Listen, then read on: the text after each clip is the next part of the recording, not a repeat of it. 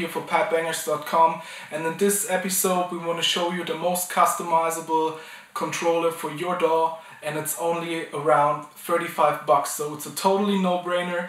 And the thing I'm talking about is the Cherry Keypad G84 4700 um, you know might think I already have a keypad on my computer. Why should I buy a second one?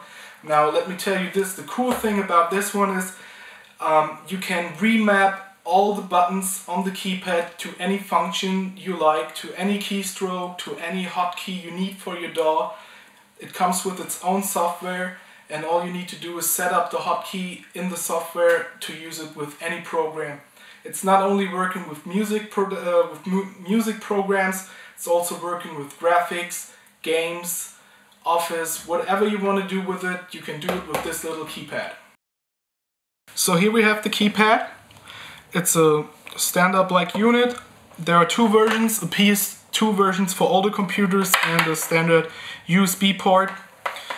Uh, it works with Mac and PC, but we don't use Apple here, so we only can test it with Windows.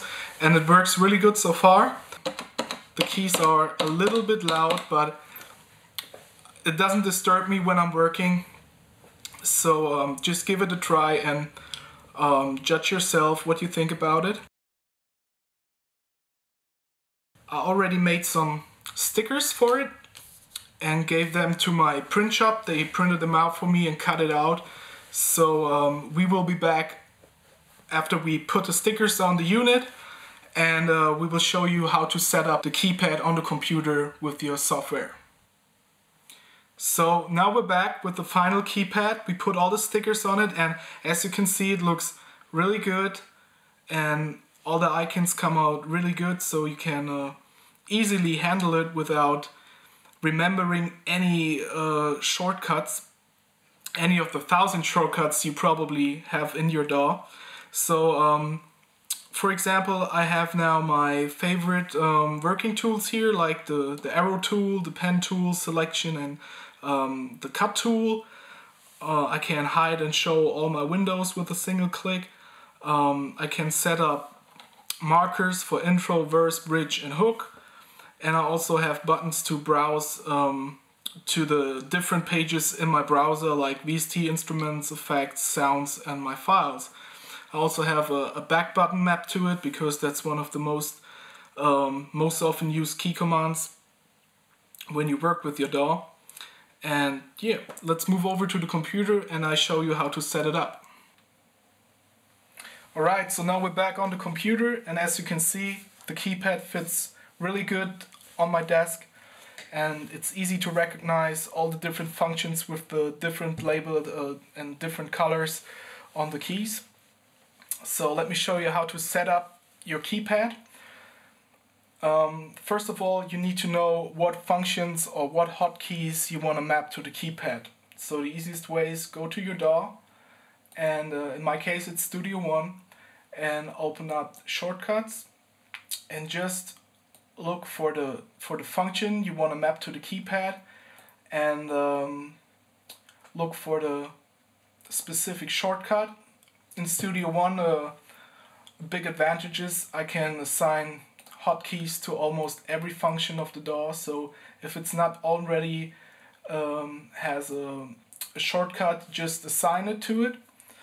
And um, I already assigned everything I want to have on the keypad. So I can skip this step. Uh, second, you need to open the Cherry Designer, which gives you a, a little preview of your keypad. And all you need to do is now select the specific key and it says software macro right here. This is the option you wanna you wanna use. You click on next and now all you need to do is hit the specific shortcut on your main keyboard. In this case I want to use uh, F6 so I delete this real quick to show you and all you need to do is click in this little window right here, hit F6 on your keyboard and it's saved. Now all you need to do is click OK, save your layout, and activate it. And now it gives you a little test window, but F6 is not really a, a letter that it can show in the display so it won't do anything.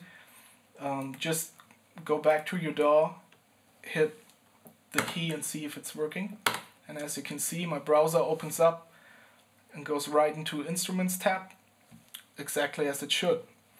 So it's pretty easy to set up, it's totally customizable, you can add each function of your DAW or whatever software you're using at this moment and map it to the keypad, which makes it a really exciting tool to work with. And again, it's only 35 bucks plus maybe 5 bucks for the stickers, depending on the print shop you're going to, and you're good to go. Really easy to handle tool that gives you great advantage in your workflow. That's it so far. I hope you enjoyed this. Please leave some comments. Subscribe to the channel. Um, visit the website padbangers.com and I hope you uh, get some use from this and uh, just let us know how do you like the video. Peace!